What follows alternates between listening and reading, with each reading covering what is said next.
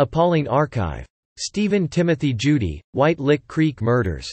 Judy was an American mass murderer and suspected serial killer who was convicted of murdering Terry Lee Chasteen and her three children, Misty Ann, Steve, and Mark, in 1979. While driving, Judy indicated there was something wrong with Chasteen's car and motioned for her to pull over. While pretending to help fix her tire, he actually disabled the car. He offered her and her kids a ride and she accepted. Judy then drove the family into a secluded area.